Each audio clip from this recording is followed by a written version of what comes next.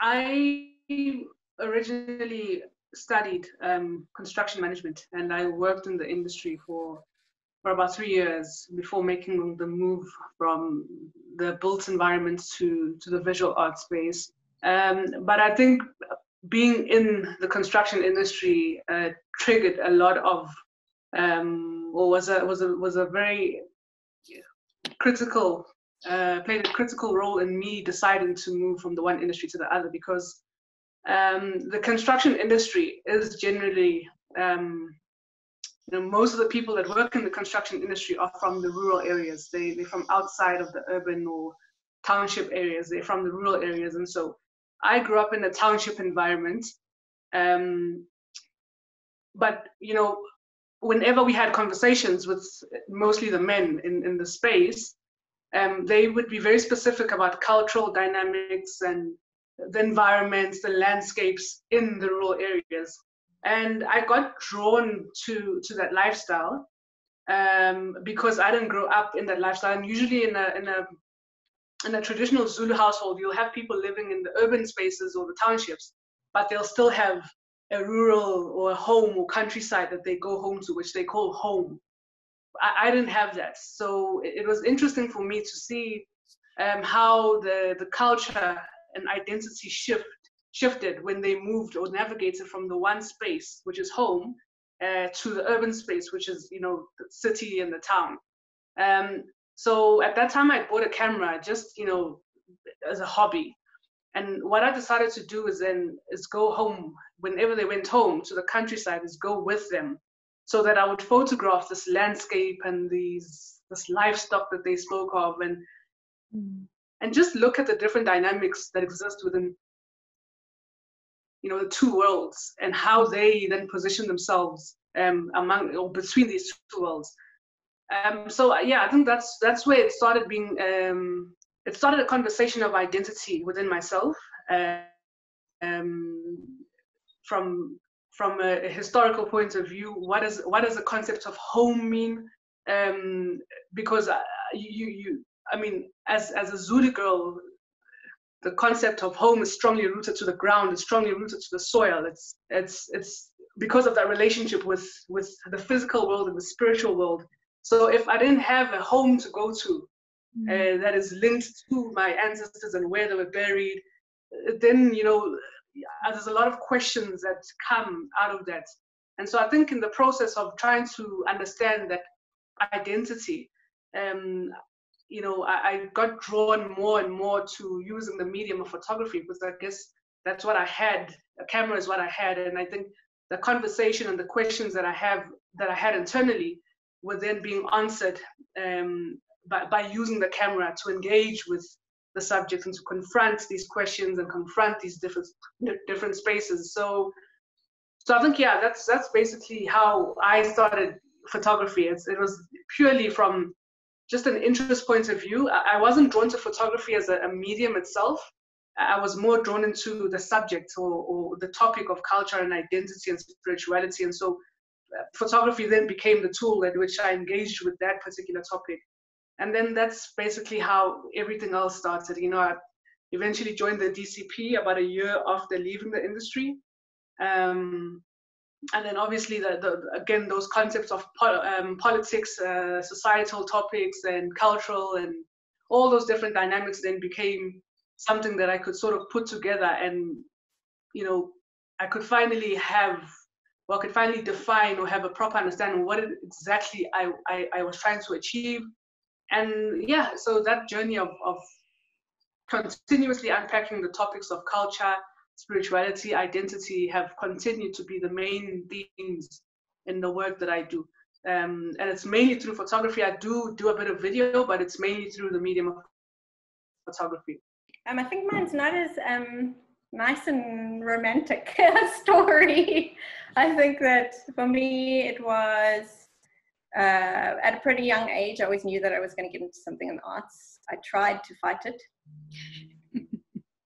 um, but it didn't happen.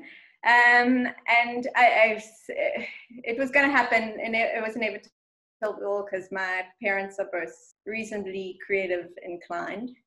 um, although follow very traditional, uh, have very traditional work life, but mm-hmm. their passions, like my dad became a photographer late in life, and then my mom's always been a singer in a bands all her life, but then followed normal day jobs. Mm-hmm. Um, so, and then I, yeah, I, I just knew that it was what I was wanting to do, wanted to do. I was a bit unsure until I got into university, and then pretty much my first month of studying, I was like, I'm home. This is exactly where I need to be. It fits. Um, so that was kind of just initially how I got into it, and then kind of you. Am I going to go? Do you want me to talk about how conceptually how, how I got into where I went conceptually? Is that yes? Yeah. Okay.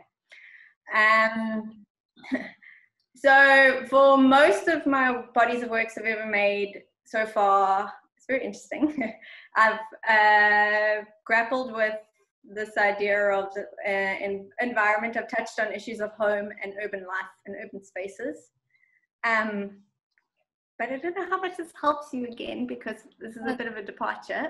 anyway, just so you got a bit of a background and context. Yeah. Um, and I think that I was always uh, my first major body work was about the space between suburban and urban spaces and kind of how we navigate through those spaces and the relationships um, they have. And then it also dealt with some issues of uh, suburbia and um, the middle class and a little bit of whiteness actually, but very, very basically.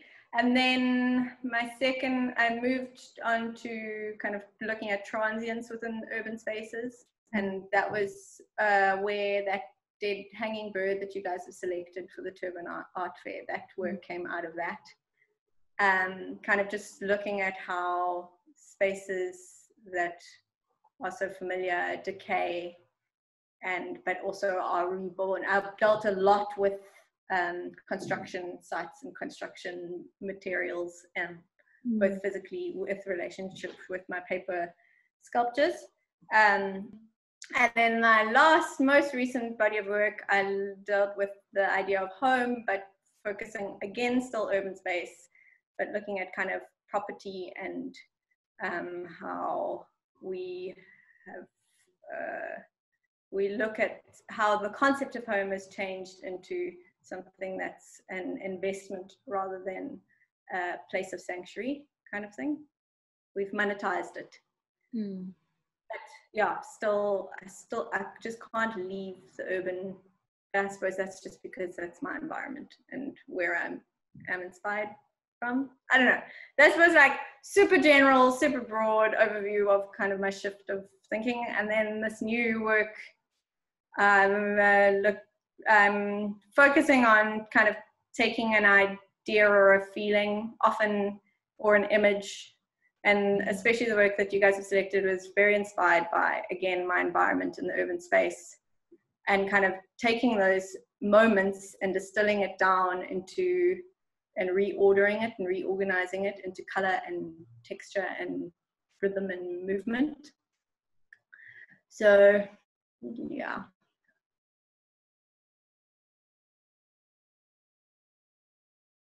Um, yeah, so paper pretty much has been my primary medium for the last seven, eight years now, or something like that. Um, and I just kind of fell in love with it um, because it's kind of one of the only mediums that, first of all, transitions so seamlessly between 2D and 3D. Um, and also, but my ma- one of the major reasons that I that I love it so much is um, the fact that it's kind of the so commonplace and mm. mundane. And um, it's also one of the most consumable commodities of our time which is like nuts. It's everywhere. And so it's quite a familiar medium um, and it's and because we're where we use it from such a young age it's kind of also the idea of creating creating on a piece of paper or turning into a paper airplane or it's like kind of embedded in, in us from a tiny age. It's, it's like a means to something magical, a magical world. Mm-hmm. And I think that's kind of I still have that. Every time I like make something new or cut it out or make a sculpture, I just think that that's uh, been so important and why I've stuck with it for so long. I think that a lot of the like my pristine white works, um, I've used it to kind of symbolize this idea of fragility and pureness and kind of um, that's been really important, especially when I was dealt with ideas of um, transience and um, and uh, yeah, the fact that was very commonplace, I think, was also really important. Now, the so I've, for about six years, I worked with only white paper, mm. and that was important. Partly, it was important conceptually for certain bodies of work, but mainly I battled to do the shift to color because paper can be very crafty depending on how you work with it. So introducing color could just look like someone's Pinterest board. And I suppose, but that's what's also what, what's interesting about paper is it grapples the line between art and craft because paper is traditionally not an art medium. It's always just been used as a substrate for an artist to do a drawing on or print an image on. And so mm-hmm. take making that shift and putting the focus on the medium has been really important. And that's kind of one of my major things with this new body of work as well is that it's like for me it couldn't be made out of anything else. And that's why it's really important that you see all the ripped edges of the page. And it's the only medium that will really give you that fluidity and movement and structure which is quite important. Um, but the shift uh, happened a lot because I was also I've been craving some color in my life, as David David Hockney said. um, I know I did. I've been I just I've had like three shows of just pretty much all white, and everybody keeps asking me about white color. And honestly, I really wanted to use color. I just was battling figuring out how. And so this bodywork kind of started with as just kind of experiments, things that I've had planned for so long and just haven't done it. Mm-hmm. And so I needed the shift creatively. I needed I needed the shift. I needed to break from um, what I was doing. I was feeling a little bit like I was in a rut. And I think this is really exciting. I think the potential for it merging kind of this painting that is what it is actually a ripped up painting and with my medium is kind of a really exciting point of departure and i think that there's going to be feel i'm hoping there's going to be great potential in seeing where it goes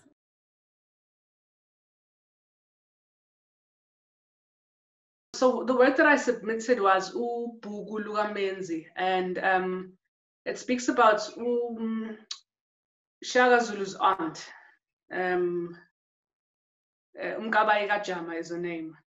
Mm-hmm. So, you know, the story of Mkabayi is an interesting one um, because um, she was born a twin. Um, and, and in that time, you, you couldn't have twins in a household. One of the twins had to be killed because um, there was a belief that um, if they were both kept alive, they, they would bring bad luck to the whole nation. Um, so essentially, what happened was that the king at that time, um, the, the, the twins' fathers decided that no, he'll keep both of the daughters, and it caused a lot of havoc within the nation. It, you know, uh, people were angry because it was unheard of. It, it, it, everyone knew that one twin had to go. So you know, because of that, Mkabayi and her sister, her twin sister, became they were hated by the nation and they were treated cruelly growing up. And so from the from the word go, she's always been, you know, because she was much more outspoken than her sister. She was much more. Um, she had a stronger presence or a stronger personality. That people tended to hate her more because they felt that you know Mm. There's a dark cloud that's going to come. It's going to come, and you will be the cause of that cloud. And indeed, what happened was that when she was about six or five, five or six years old, her mother uh, died without having uh, born a son. So now you understand the whole, you know, the the the the, the, mm. kingdom of the Zulu kingdom, you need a son. You need a man in the family to take over once the king dies. And so we're stuck with these twin twin girls and you know we can't do much with them we need a boy in the in the family and so even with the death of their mother it became the hate towards them became stronger and you know towards her specifically um, became stronger because she was again the much more assertive one and much more vocal one um, so eventually uh, you know they grew up um, the king got another wife um, and luckily there was a boy that was born um, who who then is the father of Ushaka Zulu. And the time that King Jama, their father, passed on, mm. uh, the, the son was too young. King Senzangakhona, Prince Senzangakhona was too young to become the king. Uh, but Umkabayi and his sister were old enough. They were probably in their 20s.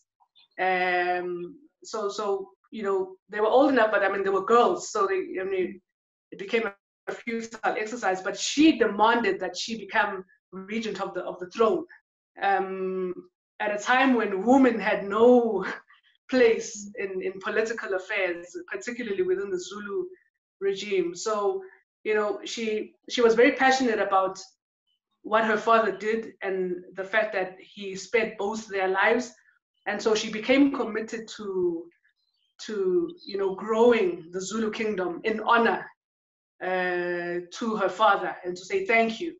Um, and she wasn't willing to see the throne go to someone else outside of the family, uh, which is why she then decided to come forth and be like, I, I'm taking over until such a time my brother is old enough to then become the king. So it was just, you know, from First of all, I think the first thing that drew that drew me to the story, or drew me to Mkabayi's story, is the fact that we we don't know about her, mm. and she played such an integral part um, in in the story of the Zulu nation as a whole. Um, but again, it goes back to this notion of you know being being a woman in a space where in a space that's very dominated by men, men um, but also not just being you know having the normal characteristics or you know being a not, not strong is not the word but being a, a woman that probably demonstrates characteristics that may otherwise be labeled as leadership or you know uh, wise or but because she was she demonstrates or she had characteristics that are primarily or you know more aligned with men she she became a villain within this whole political uh, space of the Zulu kingdom. Uh, she was hated simply because she was stronger and she demonstrated, you know, she was fast thinking, she was smart, and you know, she she just wouldn't let things be done anyhow. They, they, you had to really prove your case before she allows you to to to have it your way. Mm-hmm. So you know, the, even if you read her, um, what we call is Tagazel, her praise names, you will see that, it, you know, she she was she, she she was a she was a, she was a smart woman. She was a brilliant woman, but because she was a woman, mm. it, it wasn't taken as as nicely as maybe a man. Uh, they would have, you know, praised a man mm. um, in terms when you speak about his tagazel or the praise names. Um, she she was just this sour woman who you know no one understood why she was like why are you not a normal woman why are you not quiet and and you know sit there in the corner and just allow us men to be men so i was just drawn to this whole story but at the same time um, i don't think the nation of the zulu nation itself would be where it is if it wasn't for her but she's not given that respect and you know the um, and and the place that she she should have that she deserves, uh, given the role that she played.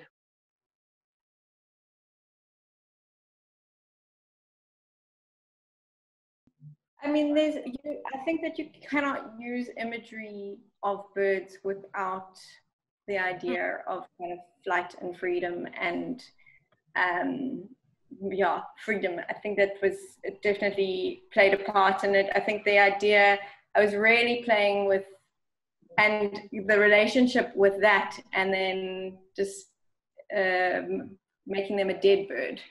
All of the, my birds I ever created were always dead. Um, mm. And for me, it, I, I was really just, it was, all my work generally kind of explores ideas through binaries. So construction and deconstruction, life and death, and kind of that that idea of this kind of idea of freedom and that having i mean the the ultimate no freedom is well depends what you believe i mean death you're, dead you know you can't uh, um uh but then also i used so the one was the gray one that's hanging from the hook uh, mm. that supposed to be I, used it made it gray referential p- pigeon um, because I was dealing with urban environments and spaces and kind of how we view this pigeon, which is um, actually is a bird and is supposed to be as good and kind of all birds generally symbolize freedom and hope and all these wonderful things but then the pigeon is also for us what it, they call rats with wings.